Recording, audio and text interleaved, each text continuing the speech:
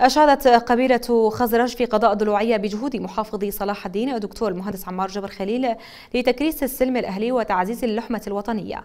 مثمنة حضوره مؤتمرهم العشائري وافتتاح مضيف الشيخ سهيل الخزرجي وجدد الحاضرون الوقوف صفا واحدا في مشروع البناء والإصلاح الذي يقوده المحافظ والذي التمس الجميع نتائجه المهمة على أرض الواقع من خدمات وطرق وأعمار بمختلف القطاعات.